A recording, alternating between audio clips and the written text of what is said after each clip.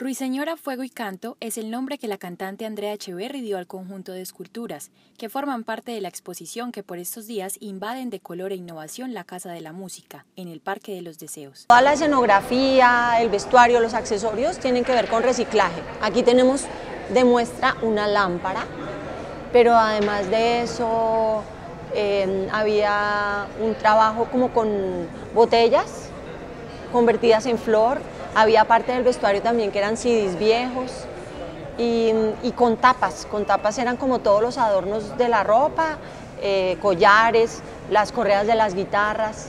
Un trabajo muy bonito que, en, en el que participaron varios artistas. La Fundación EPM, en homenaje al Mes Mundial del Medio Ambiente, se suma a la iniciativa de Andrea Echeverry como parte de sus acciones encaminadas a la protección y defensa del medio ambiente. La Fundación EPM tiene un eje estratégico muy importante y es la conservación y cuidado del medio ambiente y el uso eficiente de los recursos naturales y los servicios públicos domiciliarios. En ese sentido, somos unos convencidos desde la Fundación que desde el arte, la cultura, la música, la pedagogía, construimos esos valores ciudadanos para que la comunidad cuide y conserve su medio ambiente. La exposición cuenta con distintos diseños creados a partir del reciclaje, en el que la cantante utiliza como ambientación para la escenografía de sus conciertos y que son el centro de atención de los visitantes. Eh, piezas eh, influenciadas por el pop, un mapa de Colombia huesos, unas piezas femeninas autobiográficas, culebras, es el universo que ella crea. Es tan importante para la ciudad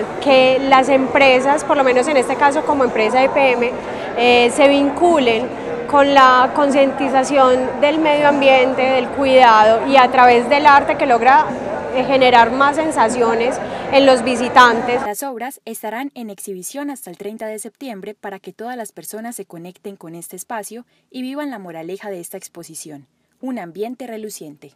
Un saludo a los jóvenes que visitan Conexión Viva, que estén súper bien. Yo soy Andrea Echeverry, yo soy Conexión Viva.